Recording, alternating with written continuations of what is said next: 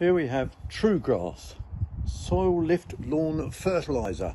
The good thing about it is it's totally organic. Um, they're revitalised and pasteurised granules, it says on here, but basically it's from food waste and it's long term. It lasts about six weeks and it's so easy to use. You can't burn with it.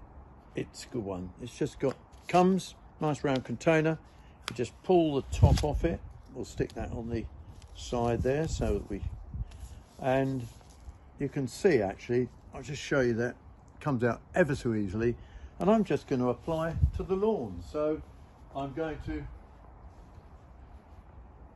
you'll have to move um,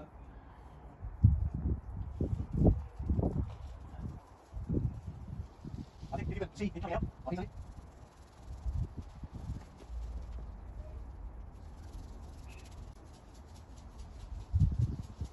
shaker's quite handy, it just comes out very easily. It's going to take me quite a time to do this uh, lawn for this person. But I think the important thing is it's organic, it's completely safe for pets.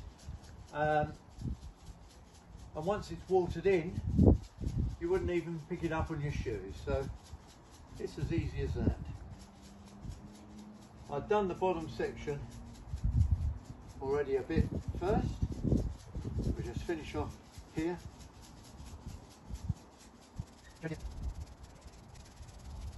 And what we're going to do with this one, True Grass, we're going to trial it, we're going to put this on, and in a few weeks time, we're actually going to come back to the garden here and have a look to see how well it has done. And I think that's the important thing. It's not just about believing what you read on the packet. It's about whether we can see actually how it works. Back round there. Nearly done, and then all we've got to do is get some water onto it. Now, what I suggest that if you've got an oscillator, to water it well in, you need about 20 minutes to half an hour of water on one spot, particularly if the weather is dry. And if uh, the weather's wet, a bit less, quarter of an hour, or just soak it into the top. But then just keep the lawn moist by watering it every couple of days or so as it grows. See you cut it, but don't cut it too short.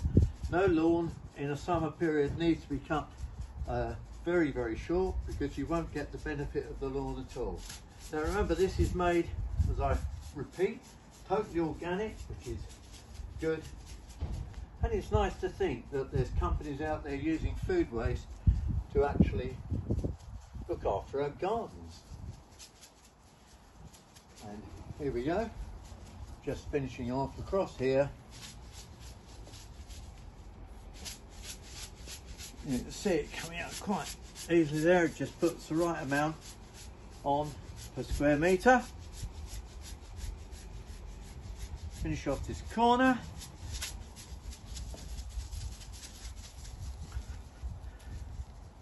All done. True grass, that's the one.